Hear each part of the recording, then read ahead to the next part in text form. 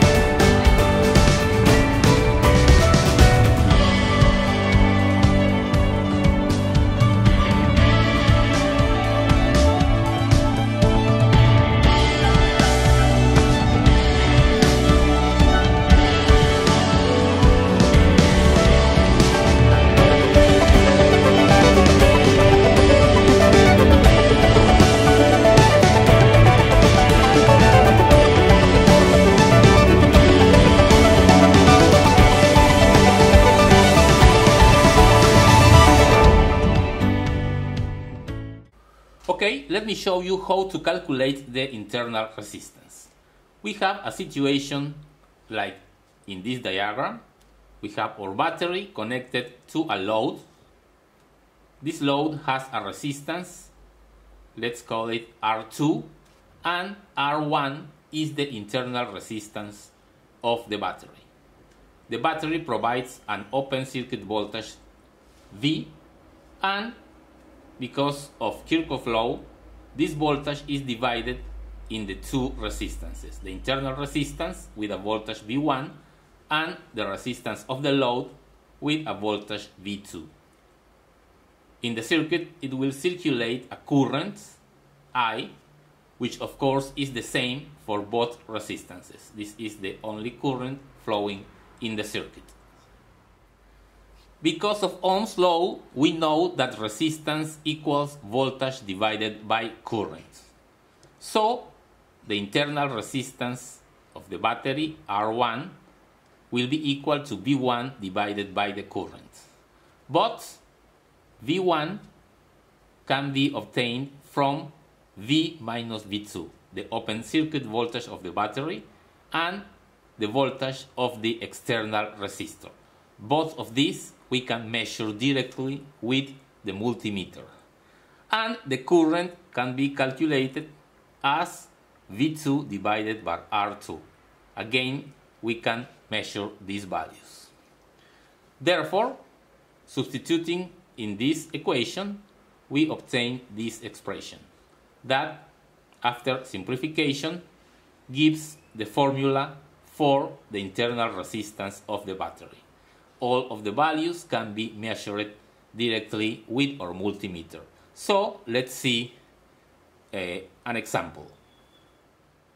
Let's try with this alkaline 9 volt battery and I will use a resistor of 220 ohms. This will be R2, the external load.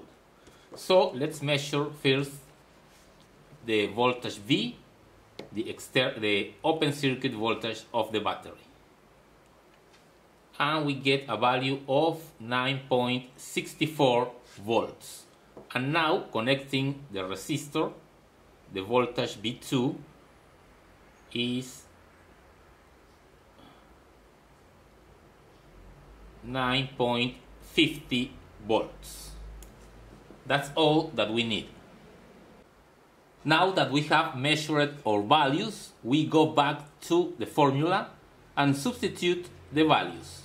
Here it is, and we obtain a value for the internal resistance of the battery of 3.24 ohms. This is the internal resistance. Now I made the same with the other battery, the other 9 volt battery, but this is a carbon zinc battery, and the value that I get is much larger of around 15.5 ohms. It is important to note that the internal resistance of a battery is not only dependent on the chemistry of the battery, but also is a function of how old your battery is.